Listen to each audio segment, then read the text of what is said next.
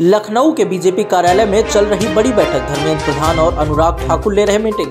Party नेताओं, कार्यकर्ताओं के साथ बड़ी मीटिंग। बीजेपी एमएलसी ए के शर्मा भी मीटिंग में रह मौजूद। समाजवादी पार्टी के राष्ट्रीय अध्यक्ष अखिलेश यादव ने ट्वीट कर चुनाव आयोग से निर्वाचन न्याय की गुहार लगाई।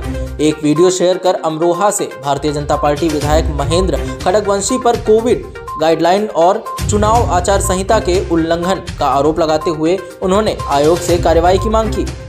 नरेश टिकैत से मिलने पहुँचे केंद्रीय मंत्री संजीव बालियान।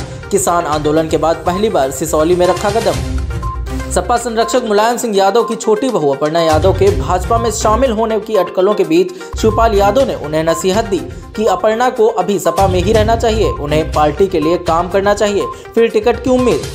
रवि किशन के रैप सॉन्ग का नेहा राठौर ने दिया जवाब। सोशल मीडिया पर यूपी में सब्बा बनाम। यूपी में काबा की जंग, इसके पहले नेहा ने बिहार में काबा गाना गाया था, जिसकी 2020 के बिहार विधानसभा चुनाव में काफ़ी चर्चा हुई थी।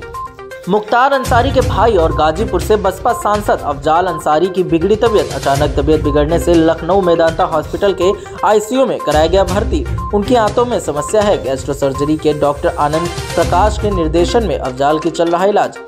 हाईकोर्ट में आज से आधे कर्मचारियों से होगा काम। बढ़ते मामलों को देखते हुए लिया गया फैसला।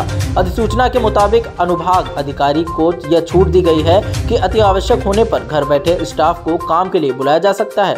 इसके साथ ही हाईकोर्ट प्रयागराज व लखनऊ खंडपीठ परिसर में शराब पीकर पान, गुटखा व तंबाकू खाकर आने पर प्रतिबंध लगा दिया गया। घने कोहरे की चपेट में यूपी। यूपी में सबसे ठंडा रहा बरेली।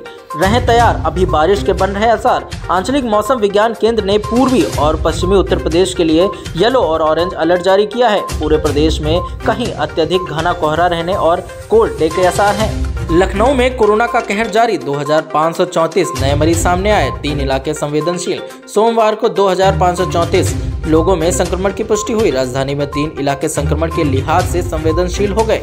इनमें से 300 से अधिक मरीज़ रोज आ रहे हैं। स्वास्थ्य विभाग के अधिकारियों का कहना है कि अलीगंज में तीन सौ चौरासी मरीज़ वायरस की चपेट में आ गए तो वहीं चिन्हट में 344 लोग संक्रमण पाए गए। हर खबर पर होगी आपकी पकड़। सब्सक्राइब करिए हमारे चैनल विद्रोही आनंद को और बेल आइकॉन दबाना न भूलिए।